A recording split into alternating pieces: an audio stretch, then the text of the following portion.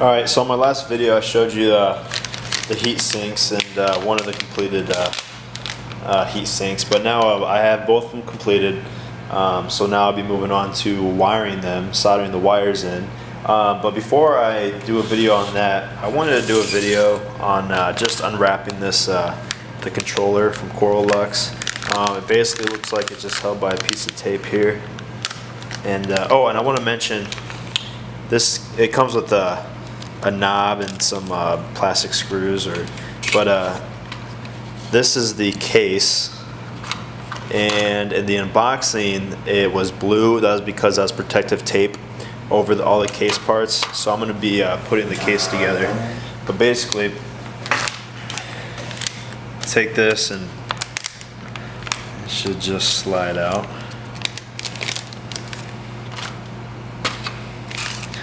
And there's the controller. It looks like there's a protective covering over the screen, so I'm gonna leave that on until we're finished. But I think I just take uh, uh, probably the back piece first.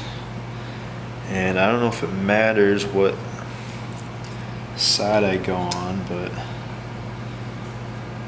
so it looks like these plastic screws are going to go in the four corners. And I think it'd be smartest to put them in the acrylic first. So I'm just going to snap these in. I think they just snap in. Maybe not. Oh, yep. Those just snap in.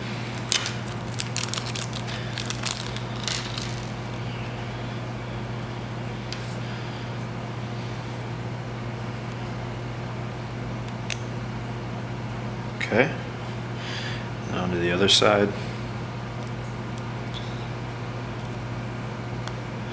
Alright, and then I'm just going to wipe this off.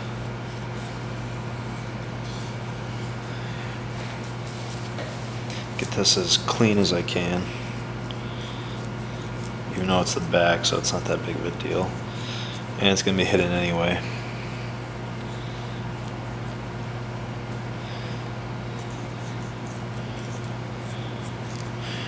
All right.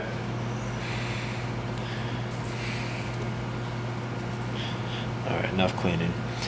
And then just set it on there like that.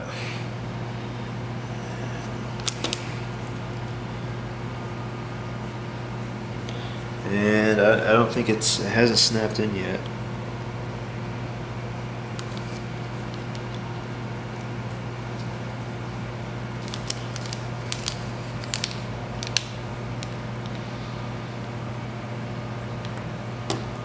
Alright, this corner went in. So I'm going to try to do this corner.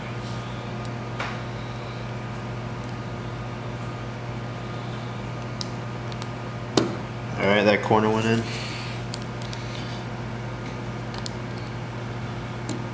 That one in. And the last one. Alright. So they're all secure and you can see that's basically uh, it's a nice standoff so that the pins on the bottom don't touch the acrylic. And then um, I guess do I put this on first? Just slides in. And it's actually a pretty, I think I'm missing a piece. It's actually a pretty neat design. I think he uh, had this all custom built, but basically it comes back apart from squeezing these two ends.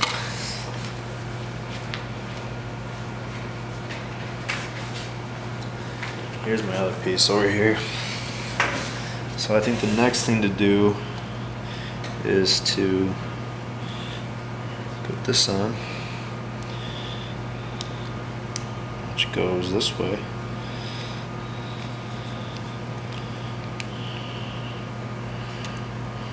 Okay. And then the other one.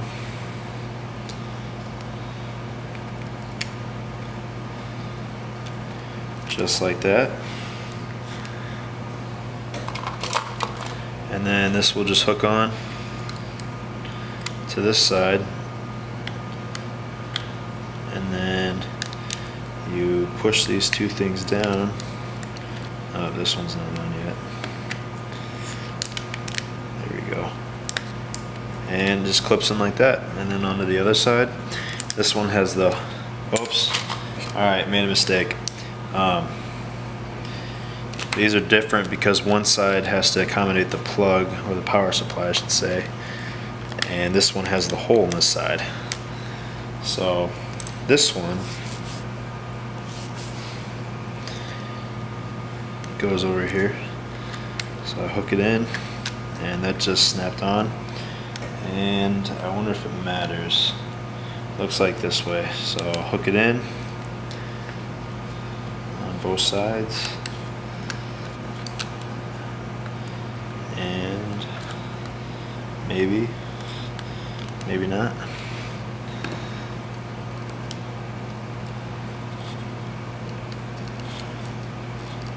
Oh. Hmm. It's getting caught in the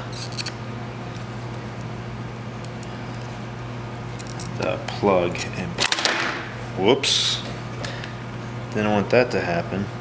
Alright. Just gonna be a little bit more careful here.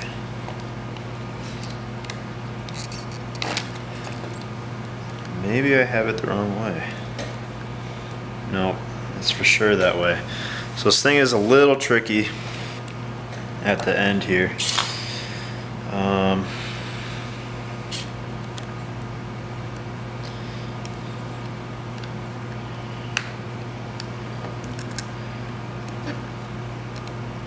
there. So you just gotta really push it into place first so it surrounds this plug nicely and then snap it in. Other than that, that's uh, that's uh, basically it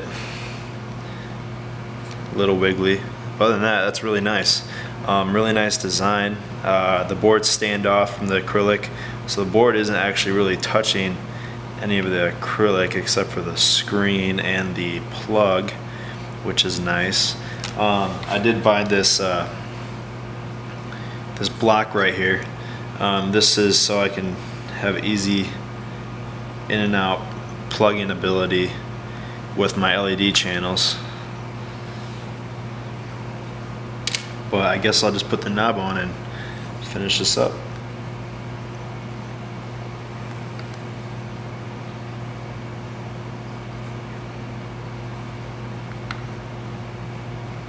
Maybe not.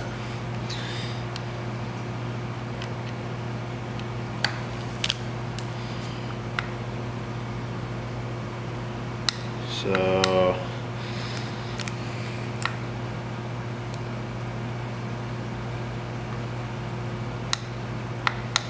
All right, I think the knob's on.